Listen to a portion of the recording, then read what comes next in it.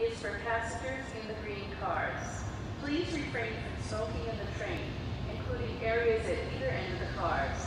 This train will be stopping at Hiroshima and Kokura